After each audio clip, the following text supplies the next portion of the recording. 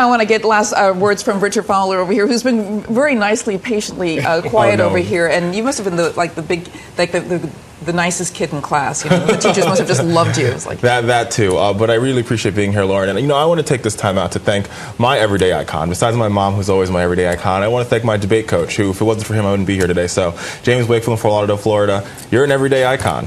Wow. You know what? I actually, when, since we're talking about everyday icons, I want to thank my, my well, my father has passed, but um, I just want to acknowledge that he was one of those everyday icons that just did his work, worked for the same company for 40 years, got the gold watch. That never happens anymore, right? No, it really doesn't. That kind of faithfulness and fidelity, that's a sacred category too, and acknowledging it more. And I really appreciate both of you doing that. I feel a little bad. I should have done that.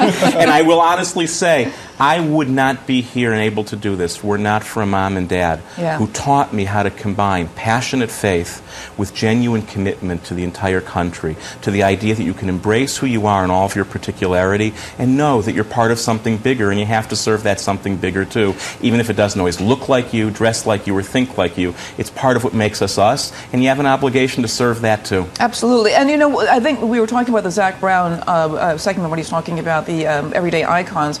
And one of the things I wanted to bring out is that even though yes, we have billionaires who buy yachts and boats and things like that, that there, we are we have this fabric in the United States where we're all connected by whatever we do, and it takes workers to make those boats and yachts and airplanes.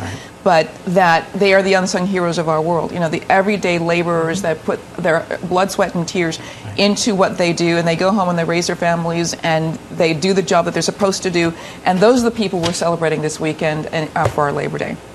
Indeed. Couldn't, couldn't have said it better. All righty. Uh, we're going to wrap up on FoxNews.com Live.